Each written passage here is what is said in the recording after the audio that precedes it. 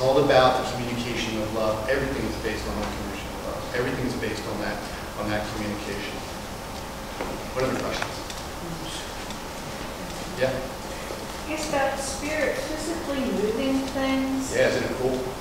So how do you explain that since they're so inanimate, you know, since they're so i- uh, ineffable, you know, they- how do they physically in this plane move things? It's the coolest thing, right? So, do you ever hear of something called like dark matter? Do you ever hear when scientists are talking about that? You can't see it. It interacts and moves things and changes things and it can bend light and you can't touch it at all. Our knowledge about the spiritual side of life is increasing. Our knowledge that we, our spirit doesn't need a physical body to move something. It doesn't need a physical body to change anything. Just like it doesn't need lungs to speak to me on a digital recorder and record its voice. It doesn't need any of that, or a brain or anything else. It's a validation that we really are a spirit. It's a validation that the body is just something we're having an experience in. Our job is not to bring, our job is to, to bring a spiritual experience to a human existence. That's our job. Our job is to bring a spiritual experience into a human existence. To show the difference, this is a human, a human existence, but we're going to show you how to be spiritual in this existence. Hmm. And inside of that, inside of that way, that's when life shifts the greatest.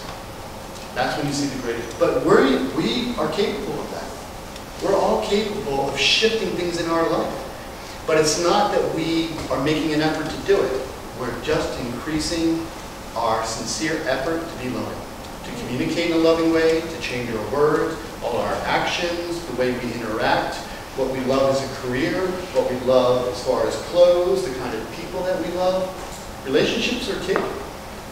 Relationships are key where, let me just share a little bit about forgiving and being forgiven. It's two different things. And so because we're this spirit who's finding our way in life, if we recognize that amongst everyone, we're finding our way in life. We're learning how to be forgiving towards people because we don't expect them to make the right choices. We don't expect people to say the right thing or to come across in the loving way that they're capable of doing. We don't expect it. And so we learn how to be forgiving. But at the same time, we're not foolish to share with our, our life with someone because we are not obligated to share our life with anyone. We get to choose. And we shouldn't be foolish enough to choose someone to share our life with if they refuse to be open to the truth or to change themselves in a loving way. Their truth may be different from the other person's There's a universal truth. Like love is universal. Quiet your brain, a state of peace comes over to you. That's anybody in the world, that's universal. There's a difference between personal, what's true to someone, and universal truth. Different. Yeah. Rich, um, have you sensed, experienced, or communicated with other dimensions besides the earth plane? Yes, and I don't understand it all. Yes. I always tell people about my personal experiences. I've communicated with people that live on different planets. I, I hate the fact that people call one another aliens. You know, they're aliens, they're, they're just a spirit. And I can tell you about the communication. I don't tell a lot of people about this. No, I'm being recorded, so.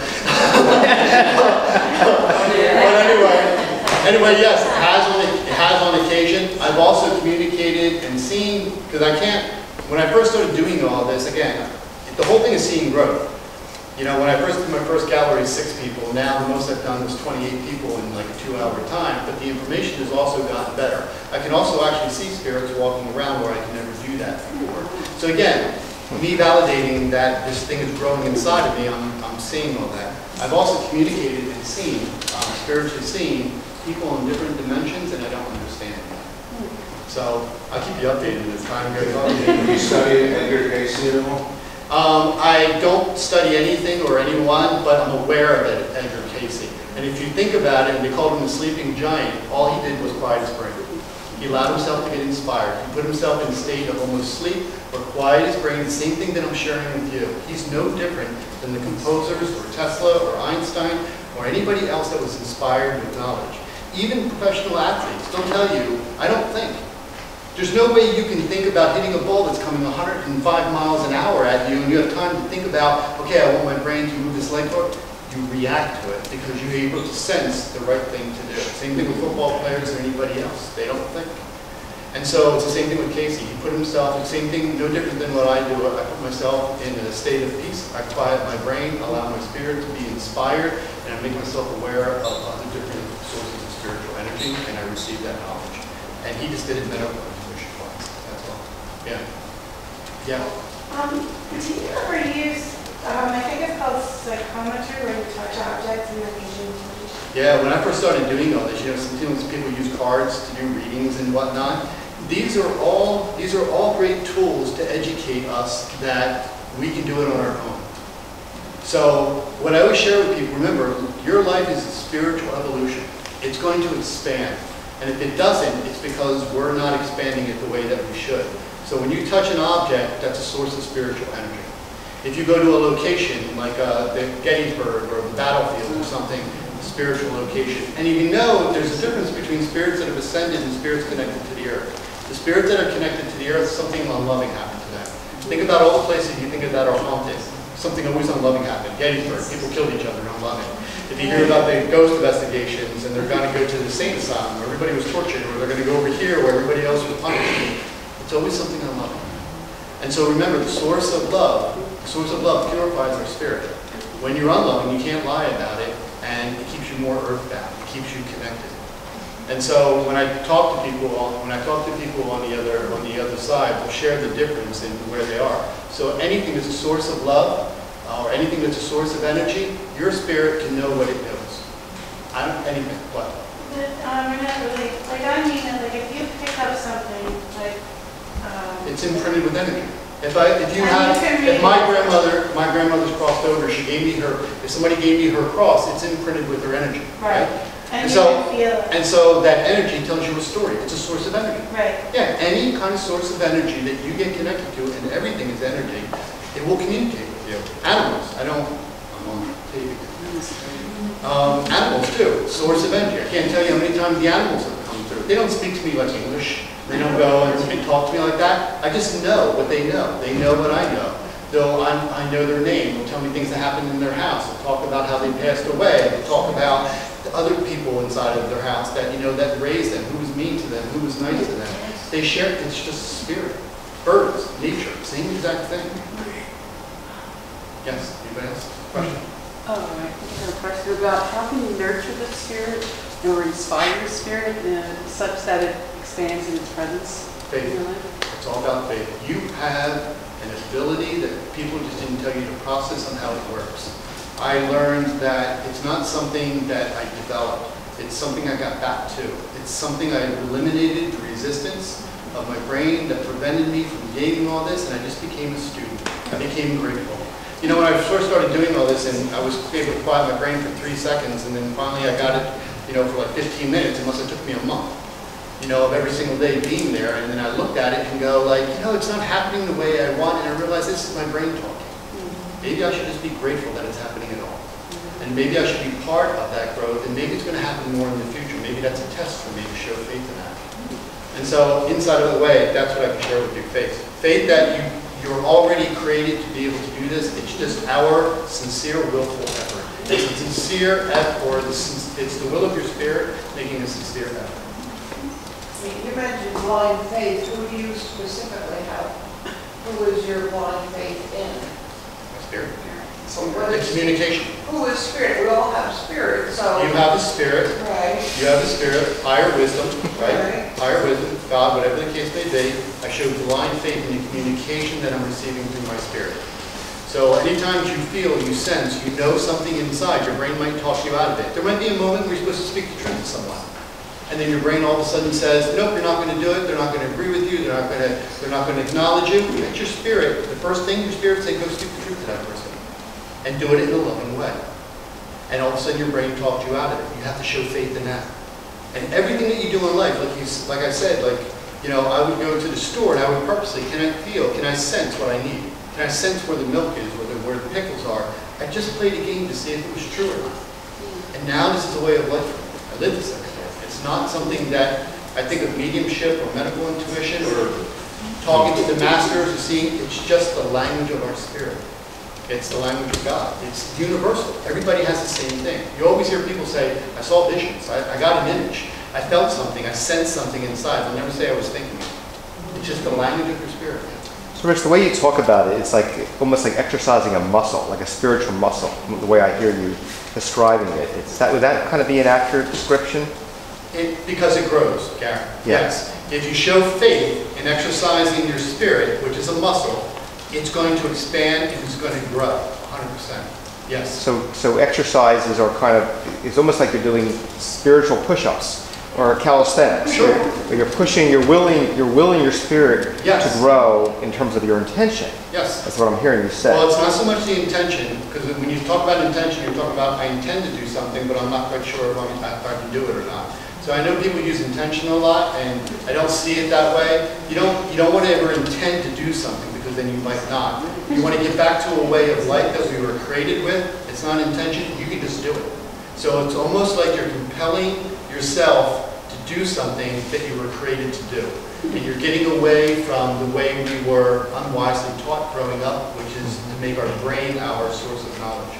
Hmm. So I would imagine that as you listen, and as you practice listening and going with what you feel right, that your discernment gets even more and more refined, right? Deb, what gets more refined? Your discernment gets even more and more refined. Go ahead. Yes? But that's my point, that as you're, because even Oprah talks about, you know, knowing what she needs to do but not necessarily doing it. Once she started to listen, once, once any of us started to listen, I would imagine that your discernment gets more and more fine because it's easier to separate what's this voice from really what's the voice of spirit. Right. So you're learning, there's two voices inside of us, is what she's saying. The first feeling I got, what I know to be true, remember I was telling you before, you got inspired, plus that information came before your brain. So it shows you you're in a state of oneness. And in that way, you're being guided with knowledge that's going to satisfy some kind of spiritual need or some kind of loving experience is going to produce from it all.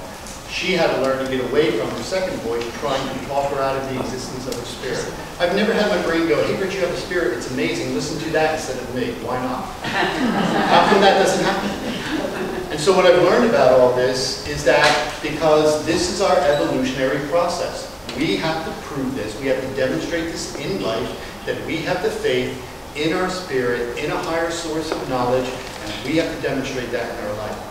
You can't repeat words and expect to be spiritually centered. You have to do what you're saying. You're a student. Learn the different languages, the two different voices, and then make the right choice and faith to follow the one that you know is going to lead you in life properly. Yeah. Uh, I found that I experienced something after something happened. I. I mean, I didn't do it before it. I mean, I'd like to. But after something works out, then I realize it worked out very well.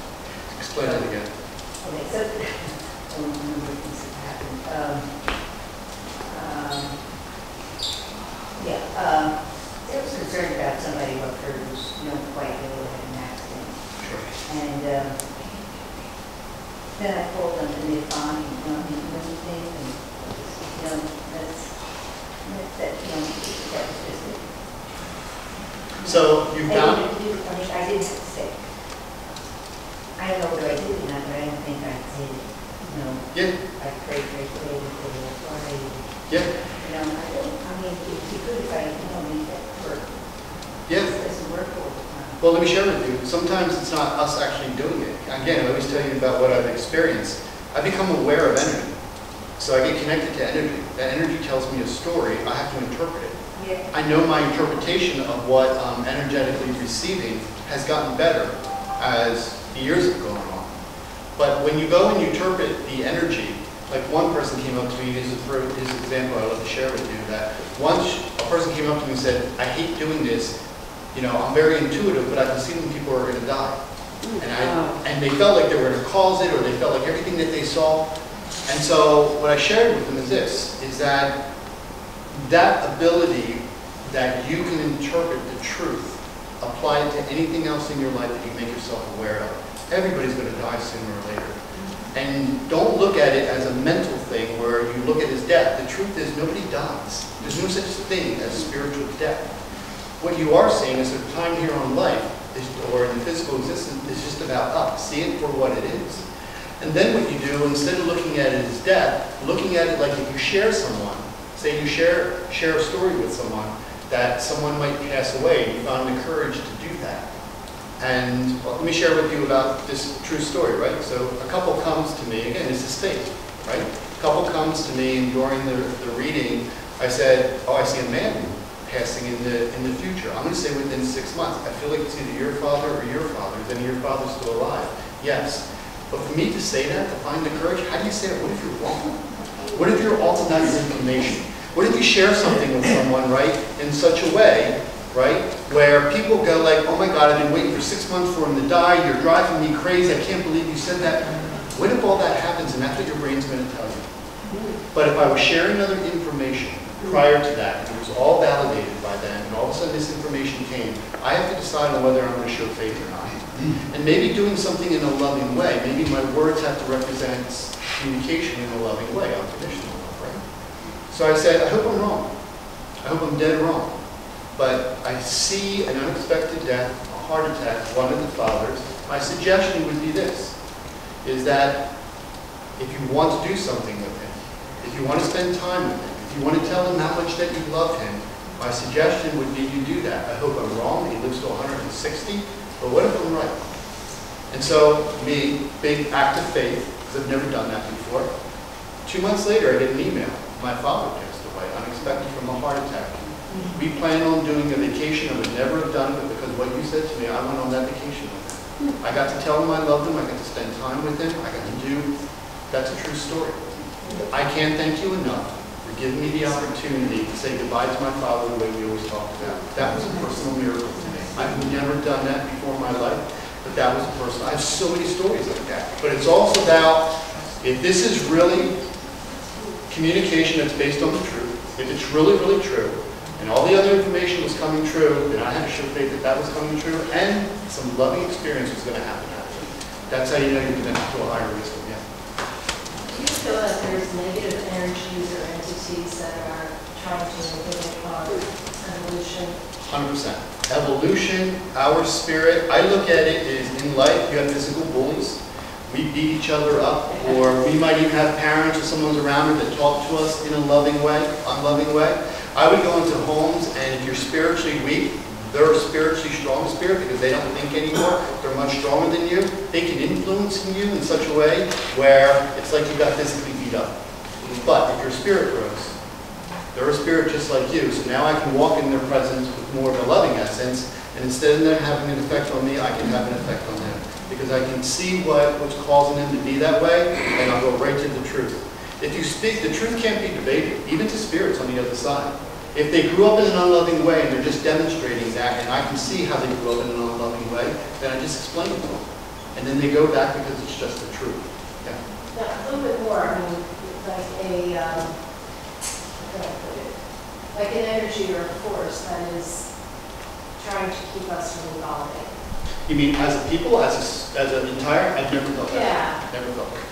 Okay, I mean, I've, I've heard from time, and I don't know whether I believe that or not, but just that, that, you know, just in this, that there are energies or entities that do not want us to evolve and are affecting us. There, I've never met a spirit or an entity that I couldn't communicate with, and if I, and I saw some knowledge about them that I could share with them, that would have an effect on them. I've never had a spirit, I've never had, I've never been in contact with them. And I've been to, I mean, I've never had a, like what you're talking about. I've gone to individual places, I've talked to spirits, helped them move on, communicated with them in my galleries all the time, personal life, but I've never felt a big force that is just driving people in one direction like that. I've never felt that.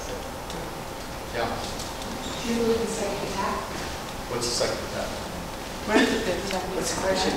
What, Do you do I believe in a psychic attack? I, I recently found out from an experience I had when I was much younger, ended up being a psychic attack. Oh, I know what you're talking about. It's going back to what I was saying with you. In life, can you have a bully, a physical bully that can dominate you? Right. You can feel weak, you can feel scared. This one made me so sick, I was throwing up and everything else. So now imagine crossing over. So you cross over, you're still the same loving person, you don't have a body anymore, you're the same unloving way. They're influencing you, make you sick, yes. I've had so many times I've been into places where if you haven't grown your spirit, they can have an influence on us. But here's the thing, it's not they're intentionally doing it. They're influencing the essence of what they've learned. If they're an unloving essence, they don't have to attack you. They can just be next to you and you can feel being the unloving essence towards you. It's like being in a room, if everybody's an alcoholic and you're living in a house with all alcoholics, or drug addicts, or someone who's just damaging your life, self-destructing your life, you're gonna feel that energy, it's gonna have an effect on you. You're going, I can't be there anymore. It's no different than them on the other side. that, but I've also had, I've also had the physical symptoms that came along with the spirit that actually attacked anything you're, they can affect the physical world, hundred percent. But at the very same time, you can influence them.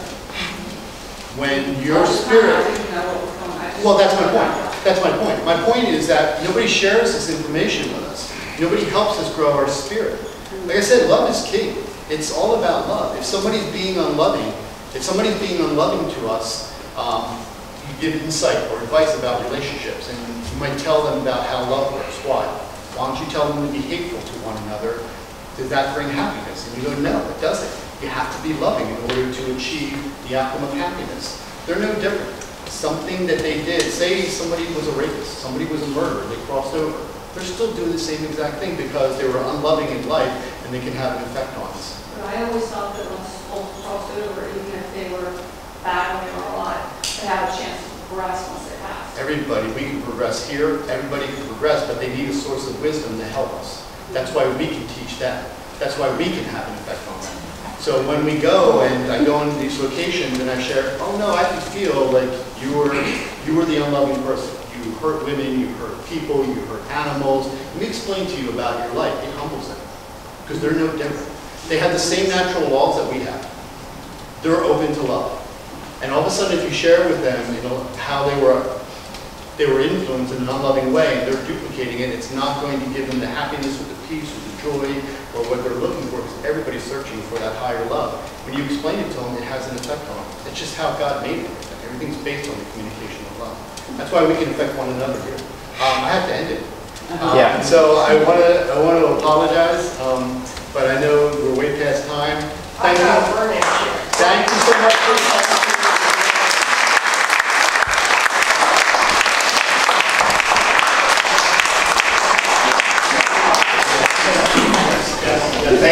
We appreciate you being here tonight. Thank everybody for coming. Um, Please go on to our